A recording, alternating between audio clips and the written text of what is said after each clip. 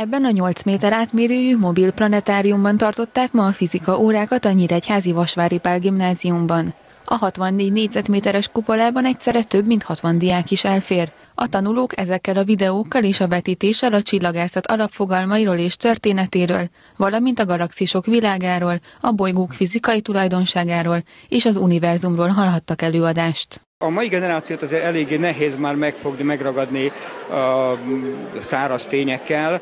Na most ugye ez a program azért egy, egy amit mondtam az elején is, egy olyan audiovizuális élményt nyújt, ami, ami jobban segít abban, hogy, hogy elfogadják ezeket a, a tényeket, ezeket a, az ismereteket. Hát ugye tudjuk már mindenkinek a zsebébe ott lapul a, a mobiltelefon, tehát azt mondja, hogy meg akarom nézni az Androméda ködöt, vagy a, a bármelyik csillagképet, előrántja a mobiltelefonját és megnézi. Ez egy más élmény. Itt szinte úgy érezhetik a gyerekek, mint hogyha a csillagos ég alatt lennének. 11-ben fizikámból és 9-ben földrajzból kötelező tananyag a csillagászat a diákoknak, ezért szervezte meg a természettudományos munkaközösség a nem mindennapi tanórát. Ez már az ötödik alkalom, amikor tanórán kívül szerveztek oktatást a diákoknak. De nem csak a 9-es és 11-es diákok láthatták a vetítést, összesen 9 osztály vett részt az előadásokon.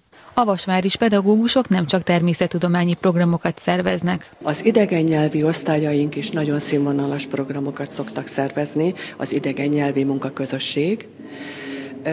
Nagyon-nagyon színvonalas az iskolánkban a színjátszókör. Nagyon nagy sikerrel szoktak szerepelni, és Igaz, hogy a természettudományos tantárgyak érzelmileg kevésbé megfoghatók, mint például az irodalom, de ezt is meg lehet úgy valósítani, hogy a gyerekeket érdekelje, odafigyeljenek, kedvet kapjanak rá, és sikerélményt is szerezzenek. Délután általános iskolás diákokat is vártak a Vasvári Pál gimnáziumba, így a nap végére összesen 455 diák látta a mobil planetárium előadását.